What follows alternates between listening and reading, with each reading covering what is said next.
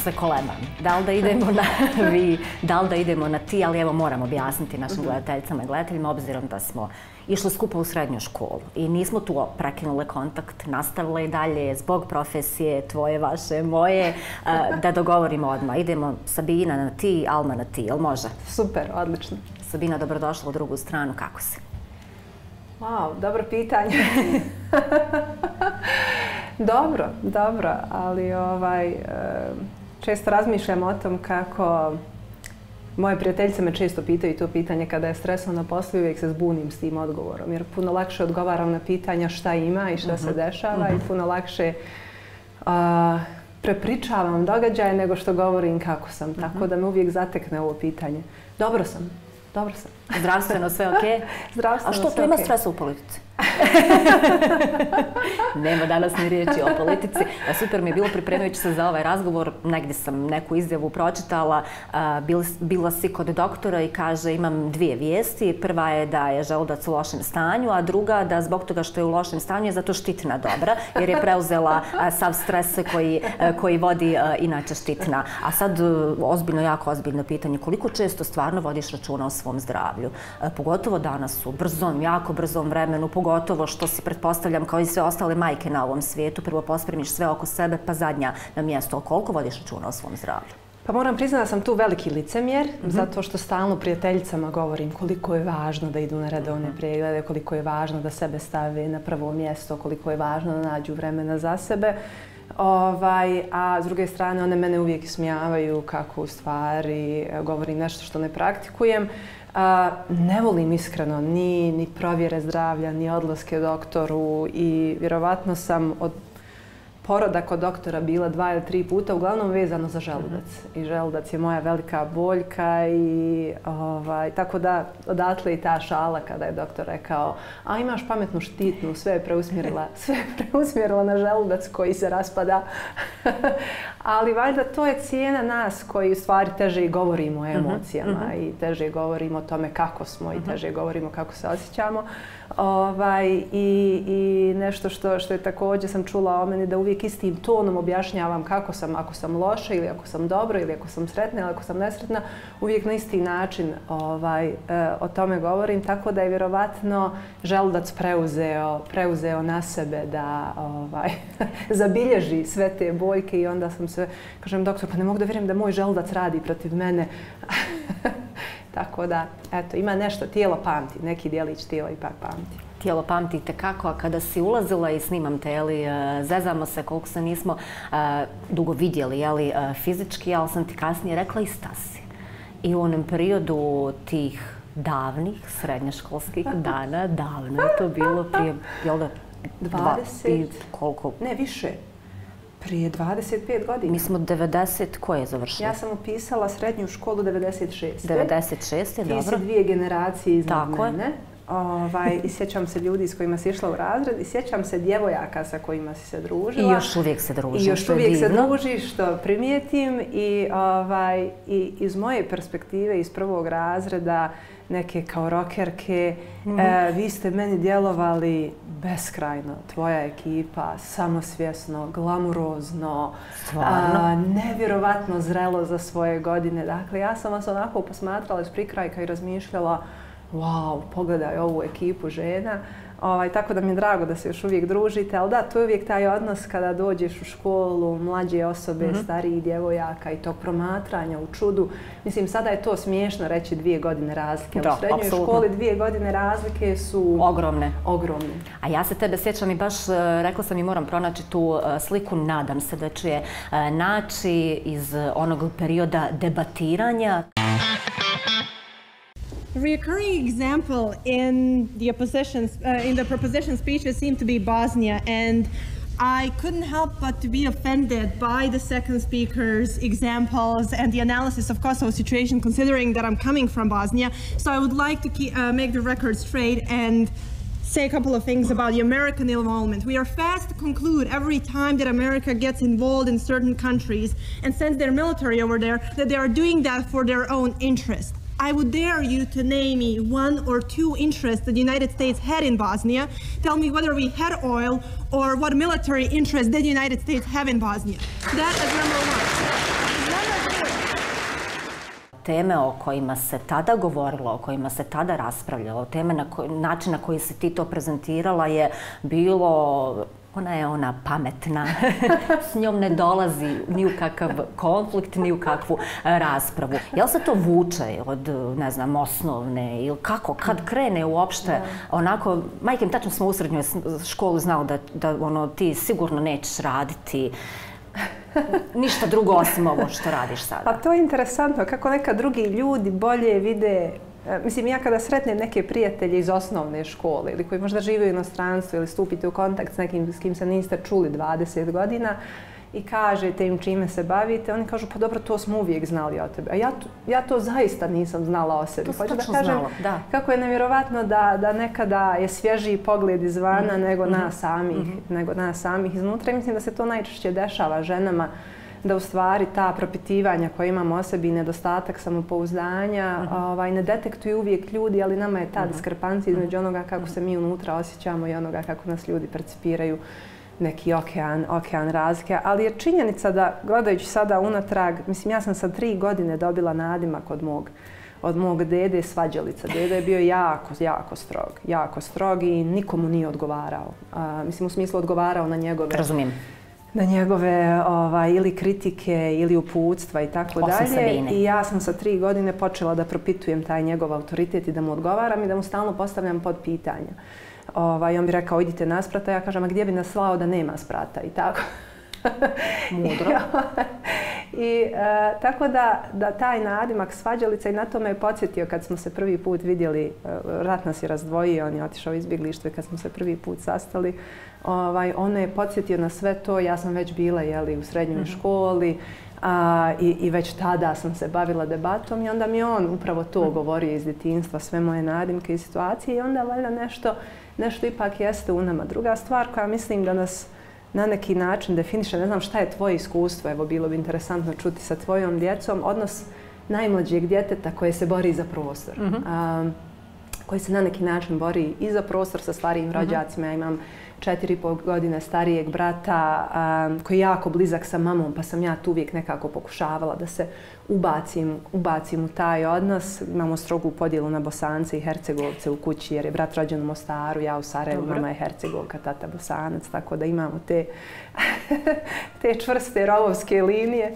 Ali hoću da kažem nešto i u mlađoj djeci koja pokušavaju da se izbore da se izbore za svoj prostor. I mislim da je treći element toga selitbe. Dobro. Uh, moj otac je bio vojno lice, moj brat se rodio u Mostaru, ja sam se rodila u Sarajevu. Sa, kada mi je bilo pet godina, preselili smo u Beograd, doći u novu sredinu. 1991. godine se vratili u Sarajevo, sa 16 godina otišla od kuće u Ameriku. I imam osjećaj da u niz situacija, nego to neprirodno velik broj puta sam bila u nekom razredu ispred kog trebate ustati i reći Dobar dan, ja sam Sabina Čudić, dolazim iz Sarajeva i da se nekako na nekoj možda meti bulinga ili predrasuda i tako dalje. Tako da je to isto neka borba valjda za vlastiti prostor i da se vaš glas čuje. Koje su najčešće predrasude za Sabinu Čudić bile koja dolazi iz Sarajeva u periodu godina 16? Koje dolazi iz Sarajeva? Da, sam, ja sam Sabina Čudić, dolazim iz Sarajeva. Aha, dolazim iz Sarajeva, da, da, da, mislila sam predrasude iz Sarajeva, da, da, da. Ovaj, uh, pa niz je predrasuda. Ja sam sa 16 godina otišla. Prvo, otišla sam u Beograd i krenula sam u školu. Bila sam jedina u razredu koja je govorila jekavski. Uh, onda sam se vratila 91. u Sarajevo, govorila sam ekavski. Uh -huh. uh, otišla sam sa 16 u Ameriku i uh, u jednu malu ruralnu sredinu dobila sam punu stipendiju da odem na godinu dana u srednjoj školi za koju sam aplicirala bez odobrenja i znanja roditelja. Oni su iz oslobođenja saznali da na spisku je li 25 djece iz Bosne i Hercegovine koji su dobili stipendiju. Bukvalno su saznali iz novina i onda je nastupila prijetnje štrajkom mojim ako me ne puste da odem i onda odete tamo i onda su sve predrasude o Balkanu, o jugoistočnoj Evropi, o ratu ovdje, uh -huh. pitanja. Vi ste u nekim osjetljivim godinama formativnim. A, tinejdžeri znaju biti jeli, i, i radoznali i okrutni. Ja sam se u Americi počela baviti, ne počela, nego nastavila intenzivno baviti debatom i takmičiti u debati.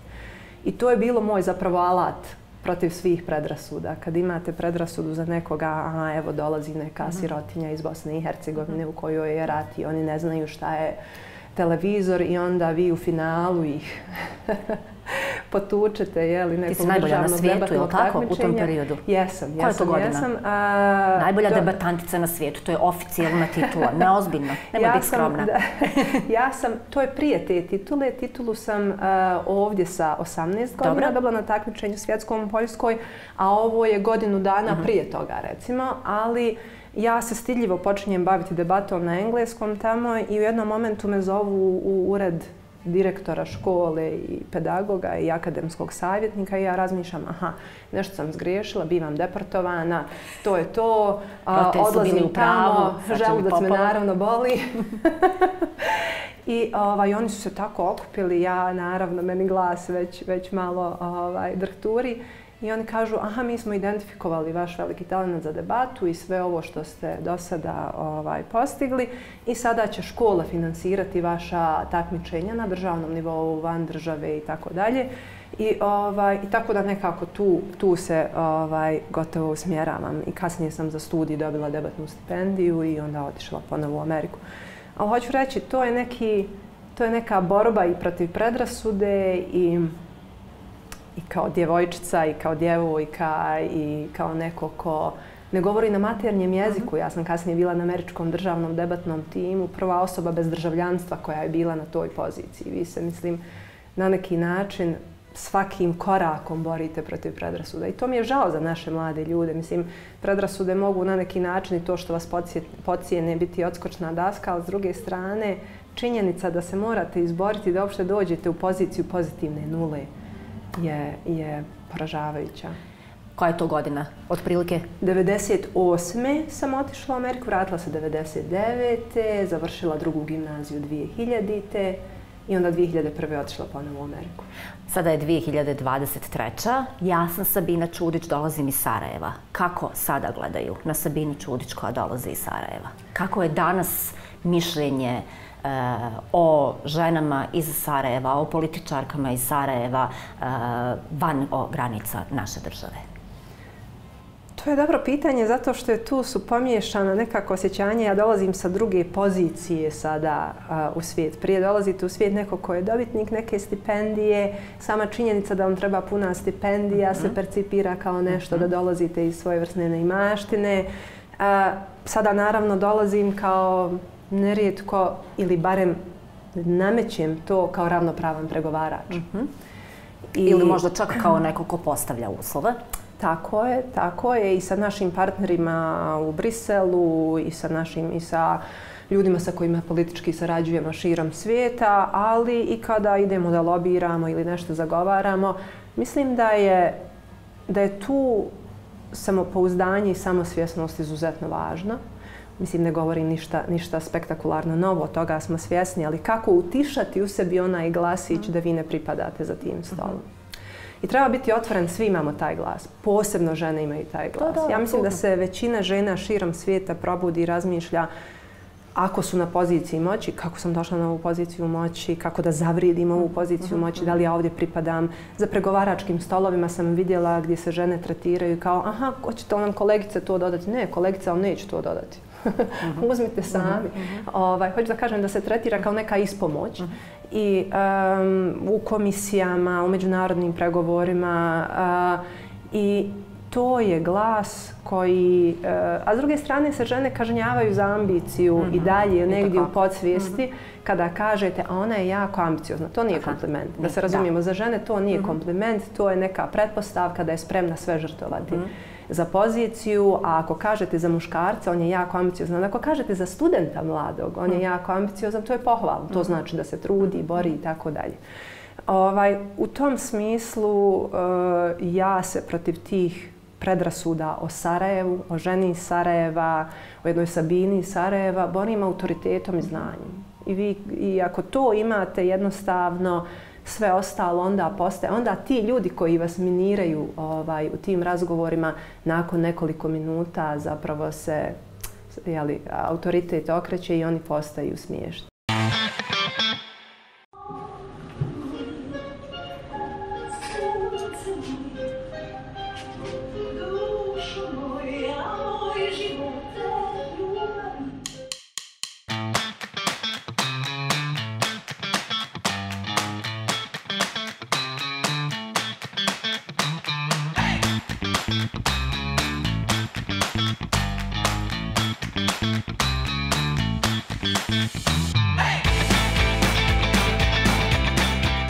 16 godina, bez znanja roditelja u daleku Ameriku, šta da danas narod se odluči isto ili napravi isto? Neće još sedam godina, je li tako? O tom sam razmišljala. O tom sam razmišljala i to je još jedno polje, jeli licemjerija gdje razmišljam, ma ne, ma ne dolazi u obzir, ma ne dolazi, šalim se, šalim se. Pokušavam da osvijestim u sebi ovaj, e, e, te, te to balkansko majčinstvo. Ovaj, ja kada sam otišla nisu postojali uh, besplatni telefonski pozivi, nisu postojale aplikacije, nisu postojali, nisam naravno imala ni mobitel. Nije bilo GPS-a. minuta sa Amerikom je, ja sam plaćala svoje telefonske pozive iz Amerike ovaj, za Sarajevo i bili su čini mi se preko 2 dolara minut. Uh, hoću da kažem, okolnosti su naravno bile drugačije, ali sada, mislim, kako se uopšte izboriti protiv toga? Ne znam šta je tvoje iskustvo protiv majčinskog instinkta, mhm. zaštite koji u konačnici loš. Mislim, nije loš, ali u pre, prevelikoj mjeri može biti mhm. kontraproduktivan. Ja sam prije nego što sam postala mama bila I naravno i sada sam tretka, tetka ovaj, troje mladšana. Ja sam tada mom bratu i ovaj, njegovoj supruzi, mojoj naravno jednoj od najbližih prijateljica, davala bezbroj savjeta. Kad nemate dijete, vi jako Daj, sam uvjereno, lagano dajete Dobro, nisam savjete. jedina, ok, edine nisam jedina. znači, s kojim samopouzdanjem sam ja ljudima sa troje djece govorila šta oni trebaju sa tom djecom, šta ta djeca treba da upišu, zašto su talentovani, u šta da ulažu, čemu da ih uče, šta da im zabrane, šta da jedu, šta da ne jedu. To je to je sada naravno presmiješno iz ove pozicije što oni voli da spomenu. da me podsjeti na moje, na moje šašave savjete. A hoću da kažem, dobijete dijete i onda shvatite da je toliko stvari van vaše kontrole. Mm -hmm. Da u stvari, većina stvari je van vaše kontrole. I, I to je možda, možda nekako čini vas daleko skrušenijim nego, nego bilo šta u životu. I način na koji vas vide, i način sve, na koji vas sve. čitaju, i način na koji vide vaše greške, i način na koji vide mm. kada, kada se nešto pretvarate ili kada ih pokušavate prevariti. Mm.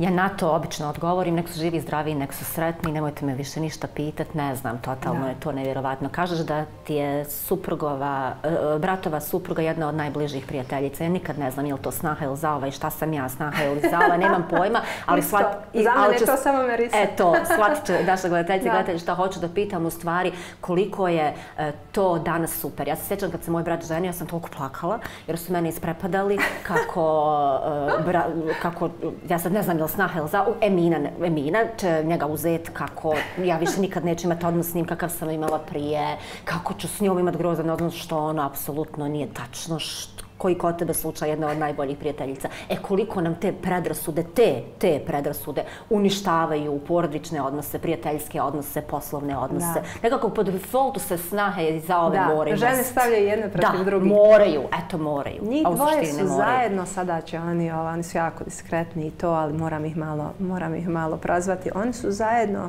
Moj brat ima 45 godina, oboje imaju 45 godina, čak su ovaj, iste godine rođeni u isto vrijeme. Um, I zajedno su 25 godina. Zajedno su, nice. čini mi se, od možda i više od 25, od prve godine fakulteta. Divno. Tako da kada sam se ja borila sa matematikom u drugoj gimnaziji Dobro. i pripremala se za kontrolne, meni je tada već Merisa davala instrukcije jer su oni inženjeri elektrotehnike. I, ovaj, I tu je naše prijateljstvo počelo i na dan, na dan nije stalo i, i ja, i ako treba, ako dođe do zauzimanja strana, ja zauzimam Erisinu stranu. Ali hoću reći, uh, to je jedan od razloga, iskreno, zašto sam se i vratila u Sarajevo, zato što meni je potrebno da sam fizički blizu ljudi do kojih mi je stalo i mislim da je život prekratak i kad odete sa 16 godina shvatite da stani godine prolaze ja hoću da vidim moje bratiće sva, gotovo, mislim, hoću da ih vidim nekoliko puta mm -hmm. sedmično. Hoću da, da, da nisam neka tetka sa Skype-a. Mm -hmm. Hoću da, da sa Merisom tračam sedina. hoću da vidim prijateljice i hoću da viđam svoje roditelje. Tako da jako smo bliski, stalno se viđamo i to je nešto što je nezamjenjivo. Ja se ne bi mogla baviti ovim poslom. Najiskrenije se ne bi mogla baviti ovim poslom da nije njih. Jer uh, prvo njih ne interesuje politika, gledaju to sa jedne zdrave distance i druge strane gledaju mene s jedne mhm. zdrave distancije, ne uzimaju uvijek moju stranu, mhm. uvijek sam predmet svih porodičnih šala za, za stolom i, i bajramskim i novogodišnjim i svim mogućim prilikama sam ja na tapeti, tako da to je nešto bez čega ja stvarno ne bih mogla. Super je to čuti. To je stvarno super čuti. S kim se družiš? Gdje se družiš? Gdje se opuštaš? Kako se opuštaš? Šta je ono kad, e, ja volim reći, se ugase reflektori, kad nisu ni parlamentarne, ni skupštinske, ni više ne znam nija kakve klupe, zatvore se vrata i dnevni je boravak. dnevni je boravak pun kod nas često ja jako volim spontano da nam ljudi svrate, tako je. Tako reći, to je onaj sistem nekadašnji gdje neko može uletiti mm. bez najave. Ima ona stara šala, mm. ili kad komšinica mm. uhvati za šteku i kaže što se ovo zaključava. ovaj, i, I od kako smo dobili Nardisa, mi evo i kad smo razgovarali gdje ćemo se naći, ja razmišljam, ja gotovo više nemam društvenog života van kuće. Mm. Ne mogu sada da mhm. zamislim neki prostor gdje gdje se ja osjećam tako mm -hmm. ugodno što sam možda imala sa 20 godina ili, ili prije nego što se rodio Nardis i onda počnete nekako kupljati ljude na način na koji smo se mi družili, ja bih rekla možda naši roditelji družili 80-ih. Ja se uvijek šalim kako sam se bezbroj puta probudila na nekom nepoznatom krevetu, okružena onim svjetlićim očima lisica koje su se svoje vremena nosile. Sjećate se 80-ih? Da, da, da. Dakle, žene su nosile se, lisice koja se zakači za vlastiti rep i njima su stavljane mm -hmm. ove neke, mm -hmm. pretpostavljam, plastične oči i probudite se i gleda vas niz plastičnih oči u tih lisica jer su vas roditelji bacili na neki krevet ovaj, kod prijatelja, mm. da tu spavate dok oni, ne znam, plešu i pjevaju dnevnom boravku i jedu rusku salatu. A, tako da ja sam nekako odrasla u, u tim nekim družeći se sa djecom a, prijatelja, mm. mojih roditelja, sa rođacima, sa rodicama. Ljeta provodila kod nene u kući, kod nena, jedne u Brčupom, drugi u Nevesinju. A, I onda nekako doživite tu lakoću provođenja vremena i sa ljudima koje znate i ne znate i prilagođavanja njihovoj djeci. Ovaj, ja bih voljela malo te slobode. Znam da jako puno sada su strukturirani mm -hmm. druženja djeci, njihovi su rasporedi, ovaj, gušći od rasporeda odrasli, ali ja bih voljela malo te spontanosti. Imam sreću da imam prijateljice koje također imaju djecu sličnog uzrasta. Uh, volim ta okupljanja da jednostavno ljudi svrate i da nešto što je trebala biti kafa mm -hmm. od 6 do 7 na večer završi u 2 ujutru za našim trpezarijskim stolom.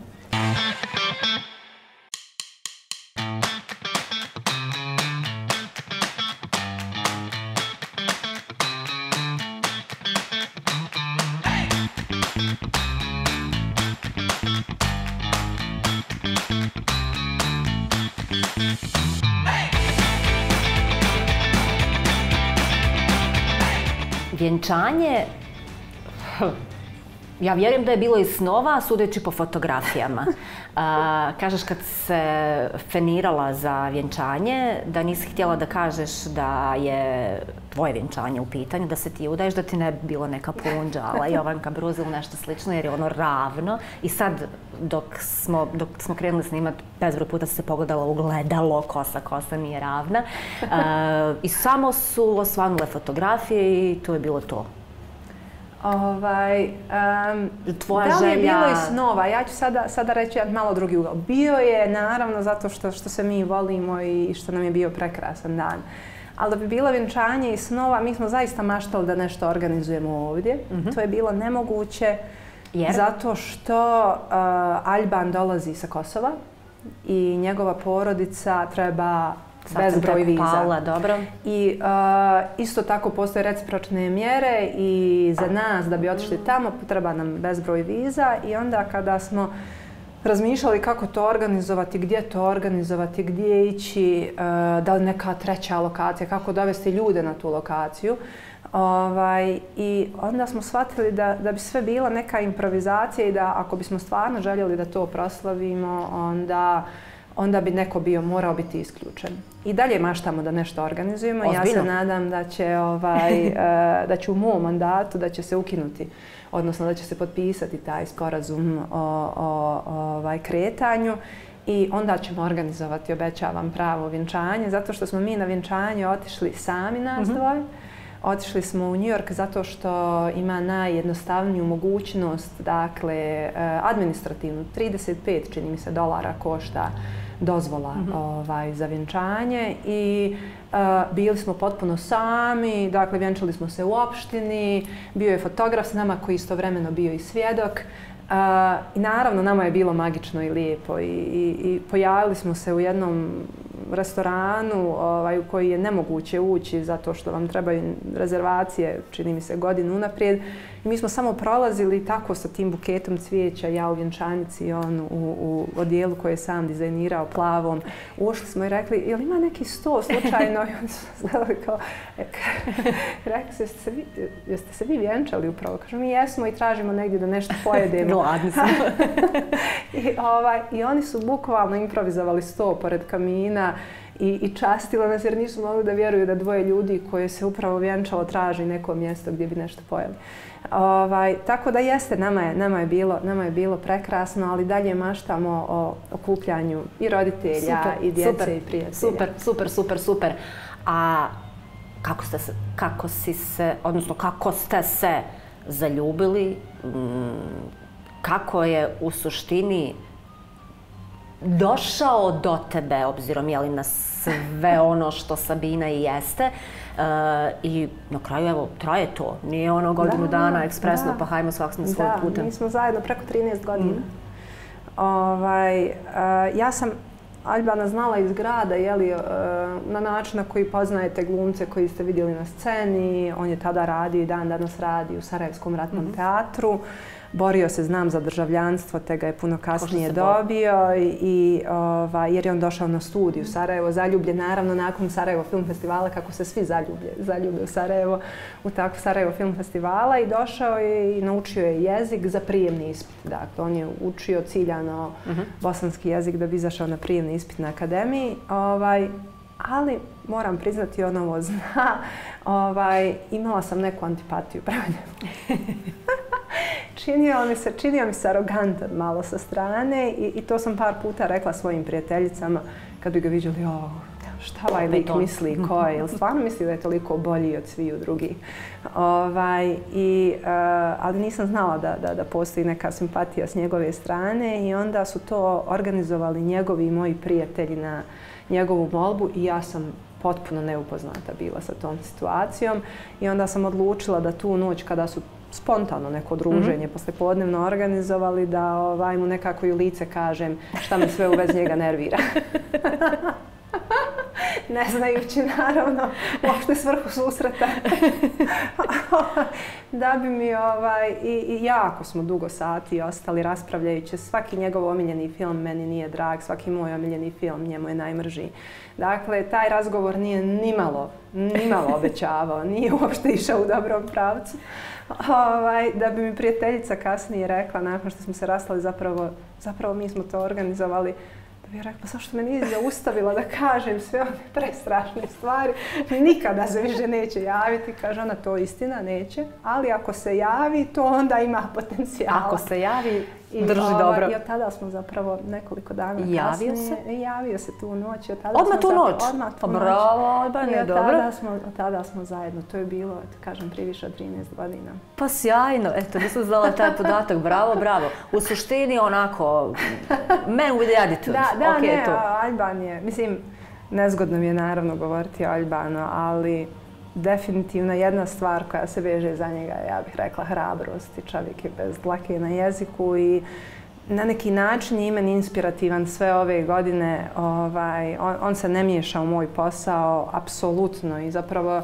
u nekom omjeru rekla bih da više govorimo o njegovom poslu nego o mom, ali ako, uvijek, ako ima jedan savjet, univerzalni uvijek je kaže samo hrabro, samo iskreno, reci sve što misliš da treba da kažeš. Tako da na neki način mi prija ta vrsta Kućeš bolje.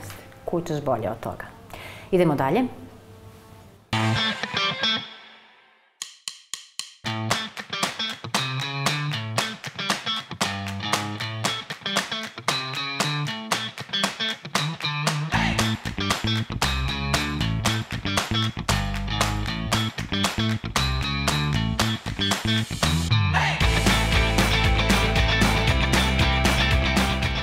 Smo se dogovarali za lokacije, E, tvoja prva ideja je bila Bazerđan, a druga ideja je bila Zemaljski muzej. Preću ćemo otkriti kad odemo na to, koja je još specifična. Međutim, zašto ove baš lokacije sve?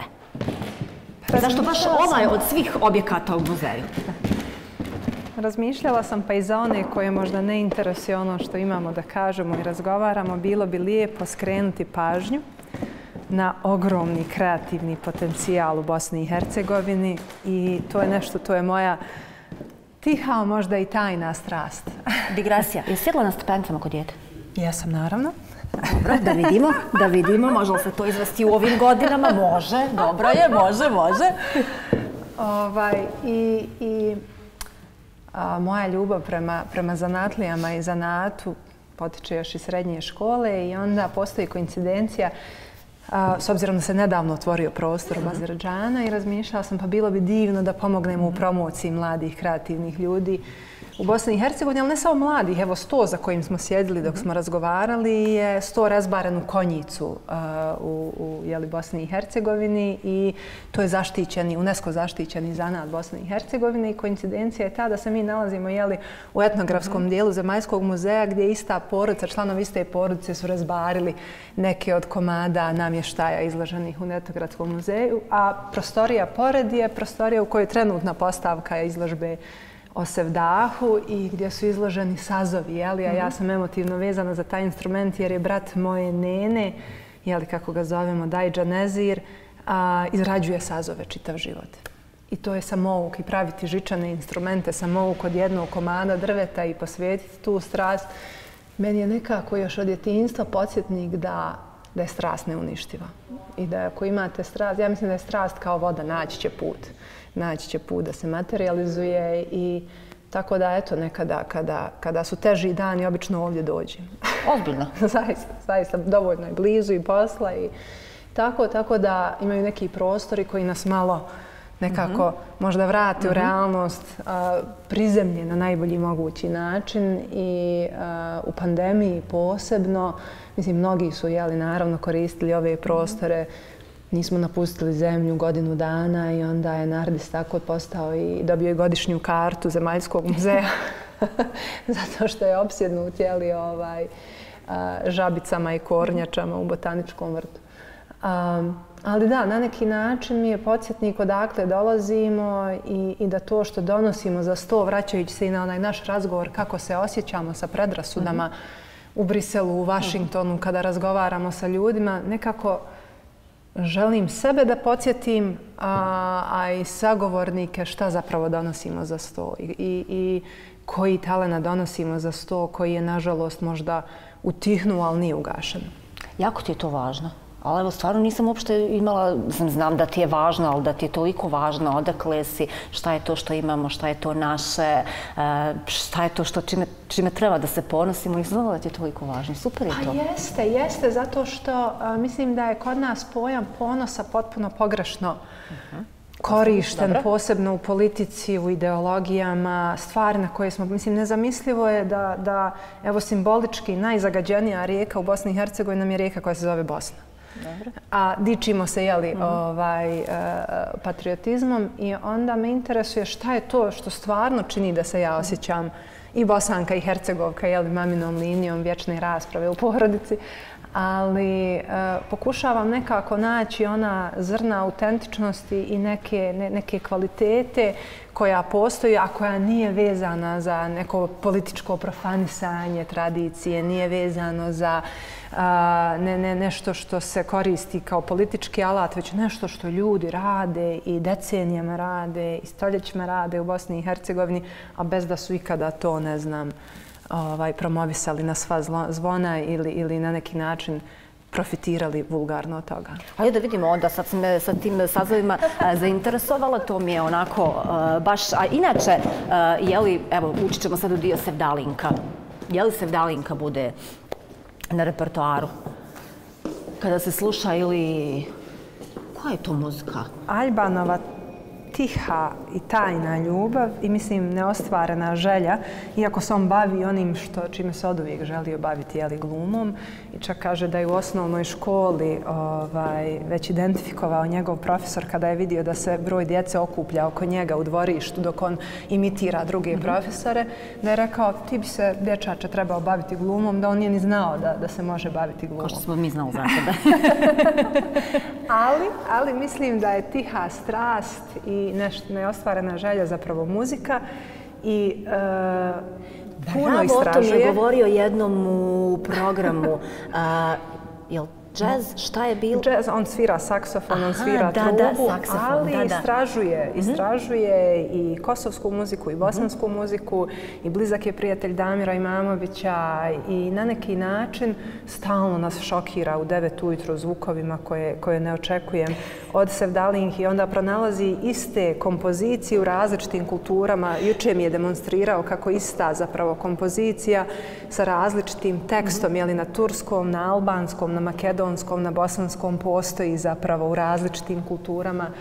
Ovaj, tako da, da moram priznati za muzičku naobrazbu.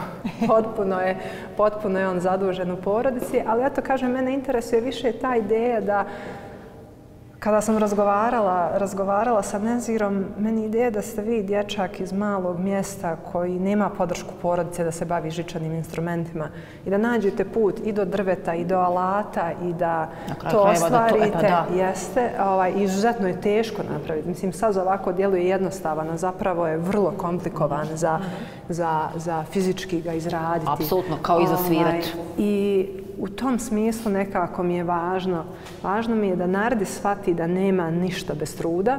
Dobro.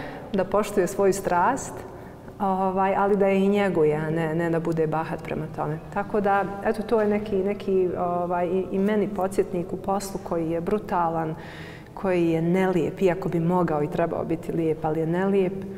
Um, da zadržimo neku želju za lijepim i za dostojanstvenim. Dobro, ali mi nisi rekla što ti slušaš, pored toga što Šta ja slušam? Alban. A sad je ovo šok. Dobro, ja ovo mogu misliti. Spremna sam, okej? Okay? Zahra Delić nije? Ne, ne, šok je to da jako volim ovaj, hip-hop na užasavanje, jeli? Uh, ukućana. Da čujem. da Tako čujem. da sam nedavno išla kupovati poklone u jednoj uh, također bosansko-hercegovačkoj radnji što mladi dizajneri dizajniraju majice i duksarice kupiti poklon. Uh mhm. -huh i tamo radi ovaj, jedan, jedan sarajevski hip-hoper, a ja sam se ponašala kao tinejdžerka koji... A to ste vi. Možemo li se slikati? Može jedan selfie. Ko je bio? Ko? Ko je ova ekipa sa Malte? 100%. Dobro, dobro, i, ovaj, dobro. I, i tako, da su, tako da je ta ekipa, pošto sam ja naravno emotivno vezana za Maltu uh -huh. i onda hip hopper uh -huh. i ta mhm. ekipa sa Malte naravno meni, meni u srcu. Ovaj, a neki dan smo se smijali jer ja volim slušati Eminema prije sjednica parlamenta, ali nenormalno glasno. Gdje to slušaš? Kućno, najglasnije moguće. I onda je, i onda je Elban tješio Nardisa, uskoro će vama na posao i vratit ćemo Aha, se normalnom repertoaru, daćemo još 10 minuta i onda, i onda gasimo ovaj užas. Tako da ovaj, meni, meni je potrebna kao mentalna priprema jako glasna, jako glasna muzika i nekako hip-hop me stavi vjerovatno u, u neko raspoloženje za parlament. Sjajno. Znaš neki stih napamet? Ne bih, ne bih ulazila u to jer sam Dobro. jednom pokušala i nije dobro završila. Sjajno. Znači, savršeno. E, obzirom da e, sam rekla da ćemo još na jednu lokaciju ići koja je specifična i posebna, to je u stvari mjesto gdje si odrasla, je li tako? Tako je. Ja, kad sam se rodila, živjeli smo na Čengić Vili. Živjeli smo na Čengić Vili i čuvala me teta Zuhra u istom haustoru. Gospođa koja je živjela ovaj, u prizemnom stanu i bila je moj najveći zaštitnik. I za razliku od danas nisam bila baš pobornica nenasilne komunikacije kao dijete, tako da sam često upadala u nevolje i tuče i tu sam prvi put razbila nos, odnosno kamen mi je razbio nos. Svašta ću ja sad. Vodiš nas na to mjesto, onda... Ići ćemo u park koji odavno nisam vidjela od djetinjstva, ovaj, koji je meni tada bio spektakularno veliki, te garaže koje su izgledale kao neboderi.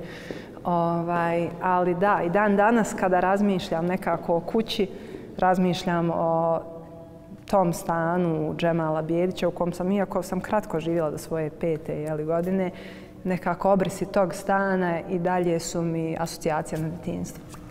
Idemo.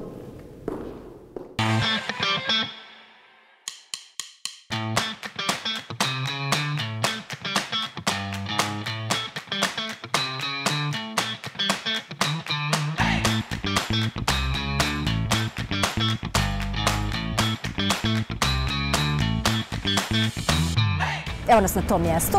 Kažeš da nisi ovdje bila koliko?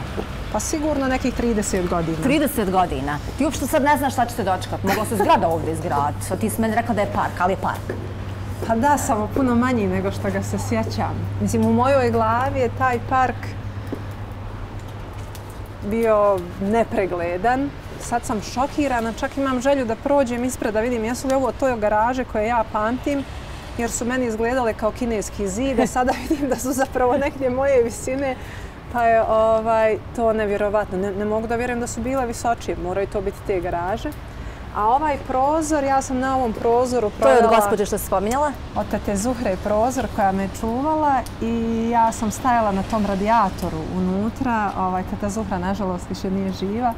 Ali bi stajala na radijatoru unutra i promatrala ovaj, djecu u parku i tu sam dobila prve batine. Baš batine. Se Pa na ćošku ovog parka sam prvi put slomila nos. Dobila sam kamen u glavu. nos.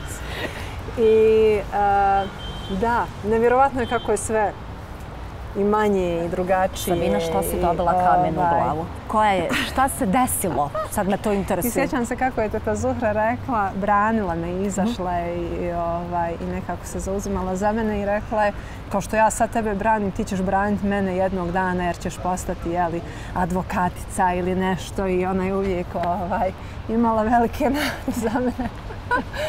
ali da, ali da, nevjerovatno je kako je sve u čovjekovom sjećanju drugačije. I to mi se desilo zapravo prvi put kada sam otišla u Nenine kuće, jednu u Brčkom, jednu jeli, u Hercegovini nakon rata i uopšte nisam mogla da se orijentišem zato što je sve toliko manje. Kako je moguće neka ulica koja vam se kao djetetu činila kao autoput koji trebate pretrčati ili To je ono kad se stari.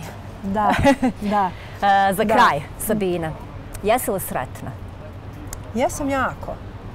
Jesam jako. Uh, neki dan sam govorila kako imam uvijek novogodišnje rezolucije, jeli, moje su uvijek ambiciozne, rekla bih voljela bi da ove godine ne budu, voljela bi da budu sasvim drugačije i voljela bi da ti momenti sreće koje osvijestimo, jeli, ovaj, neku noć sam došla kući i, i bratova djeca su bili kod nas i sami su ostali, što mi je bilo jako uzbudljivo sa, sa Nardisom.